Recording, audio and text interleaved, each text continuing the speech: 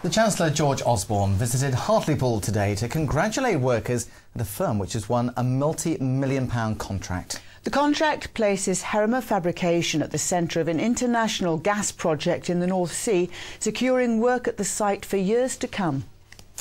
Well, our Teesside correspondent Rachel Bullock joins us live now. Rachel, a hugely important day for Hartlepool. Yes, indeed. The Cygnus project is a £1.4 billion development to expand the sixth largest gas field in the North Sea. And Cygnus has chosen Heerema to build the platforms in order to carry out that work. In effect, this Hartlepool site is spearheading the UK's involvement in this multi-million pound project. It'll create 400 jobs here, but thousands more right across the rest of the UK. That's why the Chancellor made a personal visit here today. That's why Heerema is celebrating the biggest deal in its history. The moment the Chancellor switched on a deal between this Hartlepool site and one of the world's biggest deep sea gas developments. The Cygnus field off the coast of Lincolnshire has potential gas reserves of 18 billion cubic metres. But to get to it, these are needed giant platforms to drill deep into the North Sea bed and extract gas to meet the demands of one and a half million homes. Heerema will build four topsides for the platforms, guaranteeing three years of work both here and far beyond.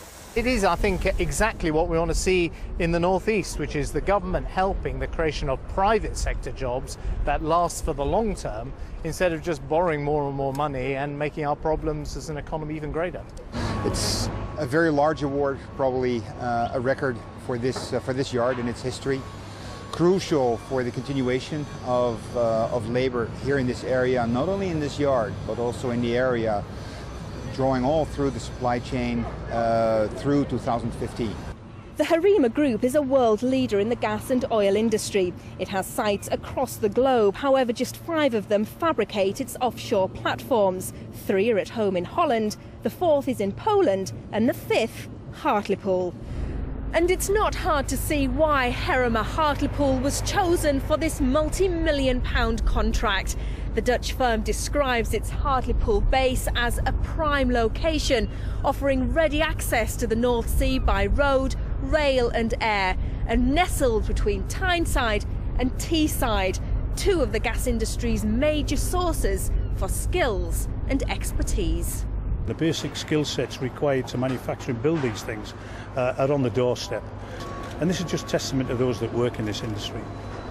Construction work will begin in December for completion in 2015, but the economic benefits they'll generate for the North East are expected to last far longer.